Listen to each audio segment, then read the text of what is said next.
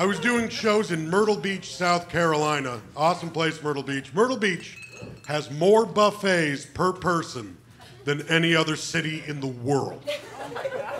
It is where fat people go on vacation.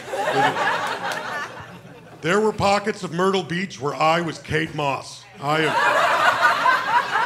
I have never been smaller and prettier in my whole life. I'm glad you guys are laughing because some people get nervous when I make fun of fat people.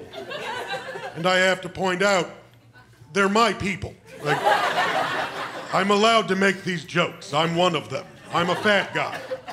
And I say fat. I'm not one of those fat people who's embarrassed to be fat, who makes up fake terms like big boned. You got a round, squishy stomach? Yeah, that's not a bone. No one on this planet has a round, squishy stomach bone. That's not a real thing.